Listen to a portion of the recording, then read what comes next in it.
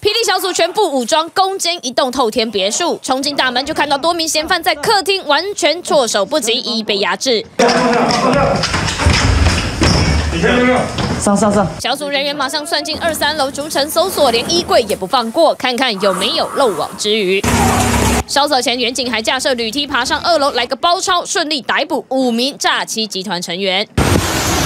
现场查扣了二十二万七千九百块的现金，还有办案用的手机、笔电，甚至还有二级毒品大麻、安非他命。扎西集团以一名二十六岁的王姓男子为首，和大陆骇客合作，购买大陆人的个资，转手卖给其他诈骗集团。从一百一十年九月到现在，总共卖出了百万笔的个资，获利近千万。而他们也就是所谓诈骗集团上游的菜商，不止提供资料给诈骗集团，而且个资准确度相当高，以每笔人民币两元，呃，购买大陆民众个资，再赚取四到五块的，呃，这个差额来。